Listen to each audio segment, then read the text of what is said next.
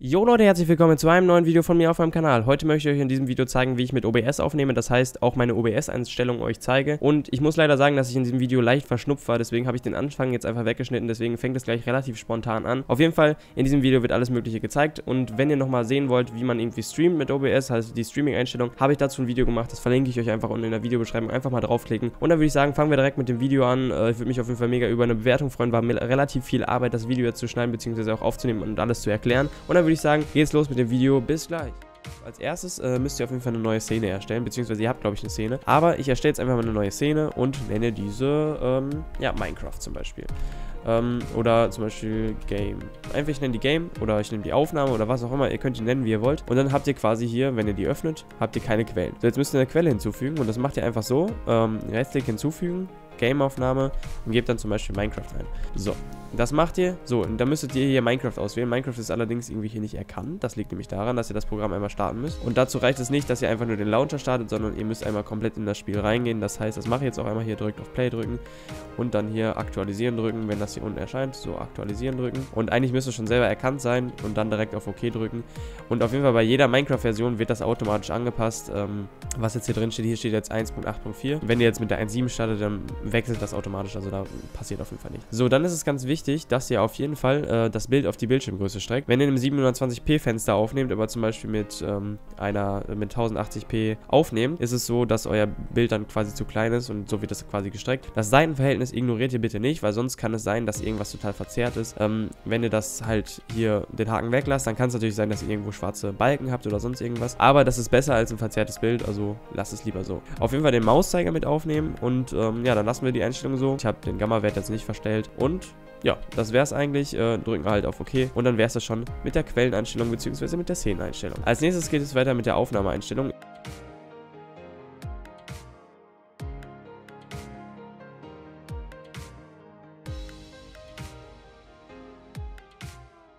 Äh, gehen auf die Codierung. Beim Encoder habe ich X264 genommen. Ähm, bin ich persönlich am zufriedensten mit.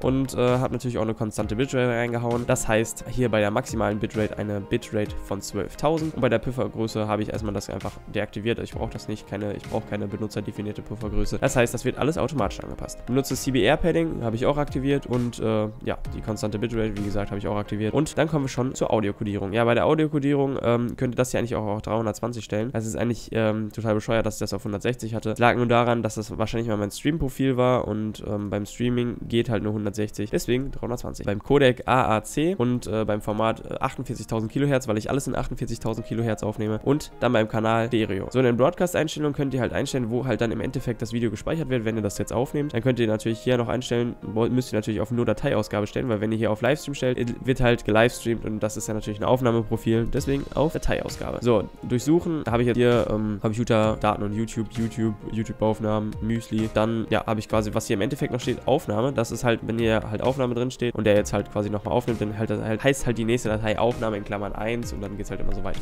Äh, Replay-Puffer habe ich auf 1 gestellt. Hier wird auch noch erklärt genau, was das ist. Ähm, ich brauche das aber allerdings nur auf 1, deswegen habe ich so gelassen. Und der Replay-Puffer, das heißt, ähm, was irgendwie halt nochmal zwischengespeichert wird, wird irgendwo gespeichert, das hier ist unter Videos. Das ist im Endeffekt gar keine richtige Datei. Die braucht ihr eigentlich auch nicht. Das heißt, ähm, ihr könnt es irgendwo hinpacken oder da lassen, wo es ist und alles ist eigentlich ganz gut. So, dann die Grafikkarte. Ähm, da will natürlich euer PC wissen, welche Grafikkarte ihr benutzt. Und ähm, wenn ihr zwei Grafikkarten habt, zum Beispiel eine GTX 770 und eine GT 350 oder so, keine Ahnung, ob es die überhaupt gibt, dann solltet ihr natürlich die bessere Grafikkarte für eure Aufnahme nehmen oder halt eventuell die eine Grafikkarte für die Aufnahme und die andere Grafikkarte nur fürs Spiel. Also da müsst ihr halt gucken, wie ihr das am besten einstellt. Ähm, es geht halt nur darum, dass ihr quasi, wenn ihr mehrere Grafikkarten habt, dass ihr das verteilen könnt, dass ein Spiel über die Grafikkarte läuft und ähm, dass ihr halt quasi eure Aufnahme über die andere Grafikkarte läuft. Ja, ist allerdings nur für Leute mit mehreren Grafikkarten. Ich habe nur eine. Ich hatte mal früher zwei, aber ich habe das auch früher nicht gebraucht. Also ich habe es einfach so gelassen und dann war auch alles ganz gut.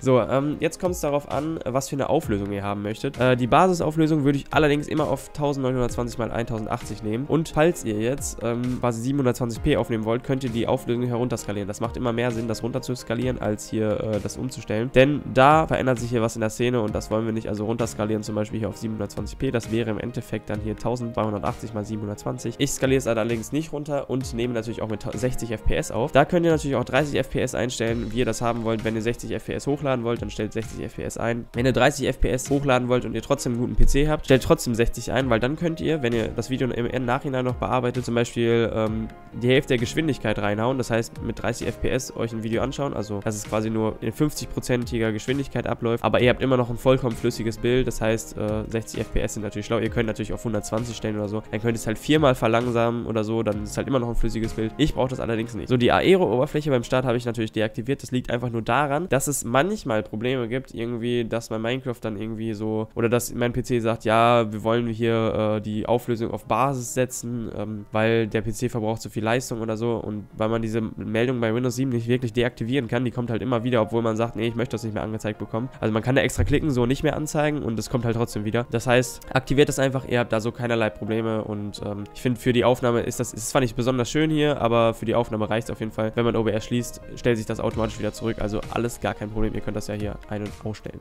So, gehen wir auf Audio. Ähm, bei, beim Audio habe ich natürlich auch mein Mikrofon aufgenommen, obwohl ich meinen Sound nicht mit diesem Programm aufnehme, sondern mit Audacity. Hochschultorfverzögerung 200, das brauche ich alles gar nicht, also ihr könnt das hier komplett übernehmen. Ich brauche das allerdings nicht. Ähm, das war es jetzt äh, und wir gehen jetzt zu den Hotkeys. Ja, bei den Hotkeys ist es so, ich habe zum Aufnahmestart und Aufnahmestoppen halt die Taste F9. Ist halt für mich ein Hotkey, wo ich nicht drauf komme. Also zum Beispiel so eine Taste wie äh, Shift oder so, da kommt man halt ständig drauf, dann wird man ständig die Aufnahme stoppen. Ist halt wie bei Fraps, äh, habe damals mit Fraps aufgenommen, deswegen brauchte ich das eigentlich so. Ja, und deswegen, sonst allerdings habe ich äh, gar keine Einstellung, außer beim Stream. Da habe ich Mikrofon Mute und Desktop Mute. Habe ich beides auf Minus gesetzt, weil halt ich mich da auch im TS mute. Und das ist halt sehr praktisch. Da kann man mit einer Taste direkt alles, alle Verbindungen kappen, falls mal irgendwie plötzlich jemand reinkommt. Aber bei einer Aufnahme brauche ich das nicht. Da schneide ich dann einfach raus und ähm, ja. Gehen wir zu erweitert. Da habe ich, ähm, könnt ihr diese Einstellung eigentlich komplett übernehmen. Ich kann euch dazu nicht alles genau was sagen. Ich, ihr könnt jetzt mal kurz auf Pause machen oder so, euch das komplett angucken. Ich habe, ähm, ich kann euch nicht zu allem was erklären. Und ähm, wenn ihr es genauso übernehmt, seid ihr glücklich wie ich.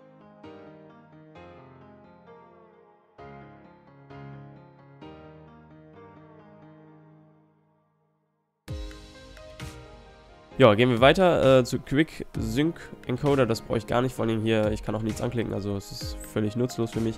Browser, keine Ahnung, weiß ich auch nicht, habe ich noch nie benutzt und den Rest habe ich irgendwie auch nicht benutzt. Hier kann man noch Szenenwechsler machen. Das heißt, dass ihr irgendwie so eine Taste drückt und dann wechselt er die Szene. Äh, das äh, braucht allerdings niemand. Also, braucht, was heißt niemand, ne? Ich brauche das auf jeden Fall gar nicht, vor allem nicht in der Aufnahme. Für den Stream wäre das eventuell sehr interessant, aber für ich, ich brauche das einfach gar nicht. Das heißt, ähm, wir können das Ganze schließen und das wäre es eigentlich. Wenn wir jetzt hier anfangen aufzunehmen, beziehungsweise wir machen erstmal eine Stream Streamvorschau. Streamvorschau bedeutet jetzt nicht, dass ihr jetzt streamt oder so. Ihr seht einfach jetzt nur, was quasi bei der Aufnahme zu sehen wäre. Das heißt, ihr könnt jetzt schon mal euer Minecraft starten. Das kann ich euch jetzt nochmal zeigen hier. Starten unser Minecraft. So, das ist jetzt nicht zu sehen. Ich drücke auf Play. Und wir sehen jetzt hier, ja, ja, sehen wir das jetzt hier? Minecraft. So, wir sehen es hier, ich ziehe mal Minecraft auf einen anderen Bildschirm. Hier ist das, was im Endeffekt zu sehen ist im Video. Also wenn ich jetzt hier, ich gehe mal kurz auf Multiplayer, also wie gesagt, das hier ist das Bild in OBS, ne? ganz wichtig, das ist jetzt nicht mein Minecraft-Fenster. Ähm, denn Minecraft-Fenster ist hier, also das kann ich so rüberziehen. Ähm, ja, und ihr seht halt, was ich, was ich hier drin mache, wird da so angezeigt. Ja, das war es eigentlich so von meiner Einstellung hier. Wenn ihr noch mehr wissen wollt, wie gesagt, in die Kommentare schreiben und dann würde ich sagen, wir sehen uns beim nächsten Video oder auf Twitter, ist auch egal. Und dann sage ich Tschüss. Ja, jetzt ist mir gerade beim Schnitt des Videos aufgefallen, dass ich vergessen habe zu erwähnen, dass ihr noch mit dem Klick auf diese schönen Teile natürlich die Lautstärke auch verändern könnt, beziehungsweise das Mikro oder den Sound einfach deaktivieren könnt. Das heißt, falls ihr keinen Sound habt, probiert mal einfach aus, ob ihr da irgendwie geklickt habt. Und falls ihr mit äh, Audacity noch aufnehmen wollt, dann müsst ihr natürlich auch euer Mikro deaktivieren, damit ihr nicht doppelten Sound habt. Und ja, ich hoffe, ich habe euch geholfen und dann würde ich sagen, tschüss.